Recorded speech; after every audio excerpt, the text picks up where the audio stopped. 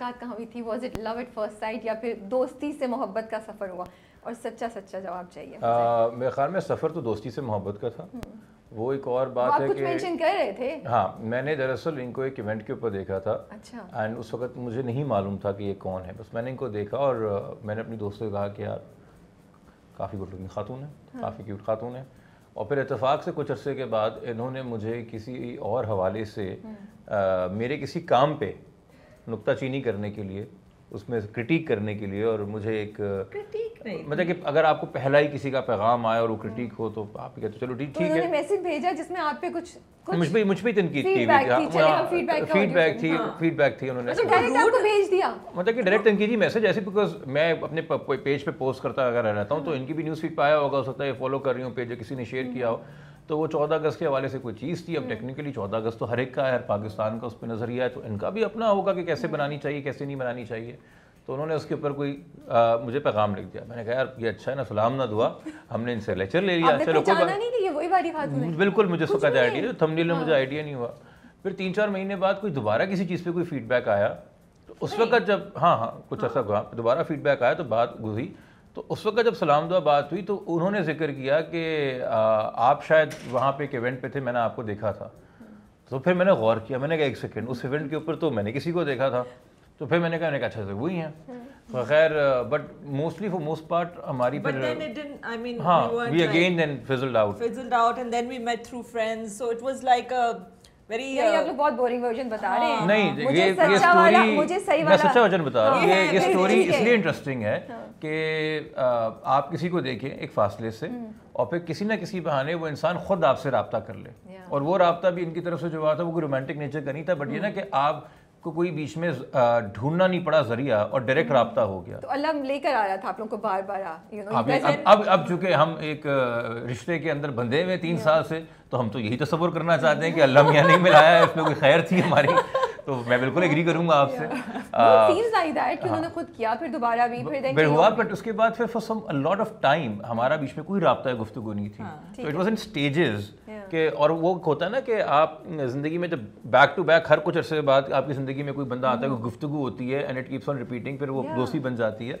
तो and and then I think with time we just started mutually liking each other yeah. In started enjoying each other's company ये actually सच्ची ही है। किसने पहले initiative लिया बताने का कि yes I am interested in that way not अब मैं फ्रेंडशिप के लेवल को लाइन को क्रॉस कर चुका हूँ। I think we had mutually decided कि जो है अगर नहीं भी बात बनी हमारी तो हम दोस्त रहेंगे। But I think it wasn't this कि was it I think maybe I देखिए ये तो आइडिया हो जाता है ना अगर आप किसी से एक घंटा फ़ोन पे बात कर रहे हैं तो सामने वाला भी आपसे फ़ोन पे घंटा बात कर रहा है ना। तो उसी से हाँ तो उसी से आपको अंदाज़ा हो जाता है कि सामने वाला क्यों एक घंटा बात कर रहा है मुझसे। और वो ऑफ़ कोर्स बातों की नौयत भी होती है कि आपको अंदाज़ा हो जाता है कि बट फिर भी बोला पर मुझे लगता है आई वाज इजहार पहले आई थिंक मेरी मोहब्बत की शिद्दत शुरू में तो मेरी ज़्यादा थी। मैं ये मान लूँगी। I I and would you agree with that हाँ हाँ। I think she was more I was more caring and more expressive uh, uh, towards him.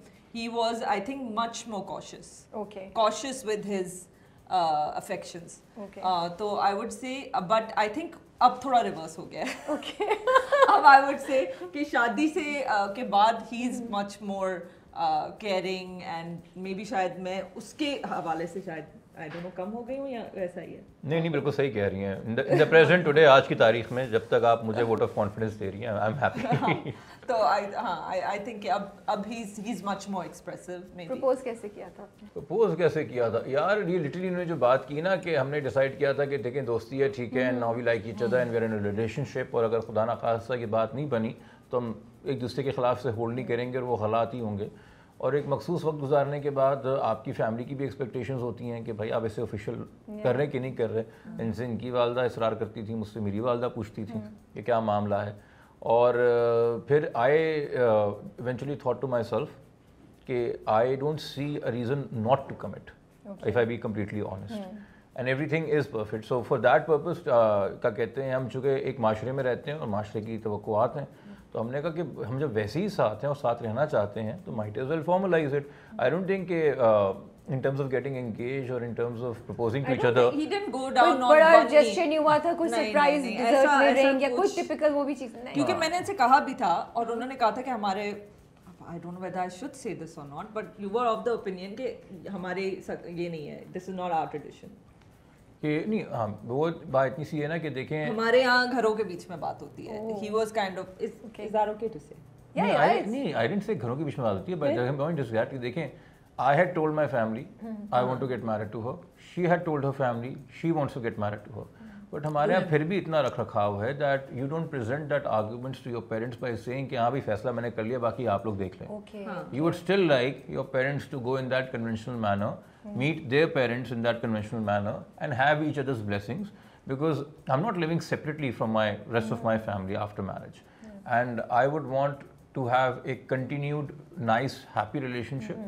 Uh, इनकी इनकी वालदा से बने या ना बने या इनकी इनकी बहनों से बने ना बने या मेरी मेरी बहन से बने ना बने या मेरी मेरी वालदा से बने ना बने मेरी हर वक्त इनकी फैमिली से बननी चाहिए और इनकी हर वक्त मेरी फैमिली से बननी चाहिए।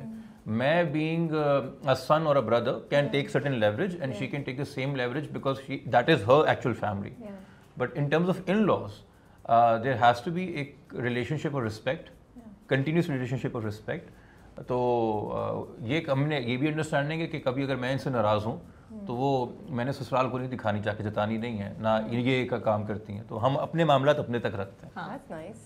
हाँ। लेकिन अल्लाह का शुक्र है कभी बात वहाँ तक गई भी नहीं है कि सारे घर वालों को पता चल रहा है कि ओ गॉड इनके दरमियान क्या फिर तो बात निकल गई ना फिर अगर बात तो निकल गई तो फिर निकल हाँ, गई फिर तो हाँ, बात पब्लिक हो गई। ऐसी लड़ाइयाँ फिर फिर तो वो हर छह महीने बाद तीन महीने बाद इंक्वायर करेंगे हाँ भाई क्या हो रहा है, है? अल्लाह का शुक्र तो है, ऐसा कुछ भी इतना आपको होना चाहिए एज एडल्ट कि भाई आप इतनी सख्त रखे जब आप इतना बड़ा रिश्ता या कमिटमेंट ले रहे हैं हाँ। कि आप इसके सारे मसाइल भी अपने आपस में हल कर सकें। First impression क्या याद है आपको इनका? फ़र्स्ट इम्प्रेशन कहाँ पे? कॉमेडी वो जो जो भी जहन में याद आ रहा है। आई थिंक इवेंचुअली इनिशियली तो सकती है या इनिशियली जब सुनती थी इनके बारे में पढ़ा हुआ होता होगा या कहीं जैसे वो आई थिंक में जो आ हर रहे एक का होता है that is so full of himself नहीं नहीं नहीं नहीं नहीं नहीं नहीं that's I think that's you being hard on yourself I don't think it was that at all I think he it he came across जो मैं अभी भी इनको कहती हूँ कि एक वर्ड है कि very earnest he seems a very genuine कि जो भी uh, बात है वो कुछ ऐसा नहीं है कि हाँ क्योंकि देखिए हम जिस शोबे में काम करते हैं उसमें आपको भी अंदाज़ा हो जाता है कि हमें ज़रा लोगों के सामने एक इम्प्रेशन रखना पड़ता है। ठीक है? बेशक वो हम सोशल मीडिया के थ्रू रखें वो हम अपने इंटरव्यूज़ के थ्रू रखें और बहुत सारी बातें होती हैं जो हमें पता होता है कि हमें कैमरा के आगे नहीं कहनी क्योंकि हर इंसान के घर में या कुछ भी होते हैं मसले मसाइल भी होते हैं लेकिन अ, उनको you know you sometimes see that there is a slide it's okay to कि आपने कुछ चीज़ें ऑफकोर्स ढक के रखनी है बट आपको कभी कभार पर्सनैलिटी शिफ्ट भी नज़र आता है you see people expressing opinions that maybe they don't or they हाँ. कम्प्लीटली फॉलो थ्रू नहीं Yeah. करते तो इनकी जो मुझे बात लगती थी कि जो अ, मतलब what he saying he Yeah.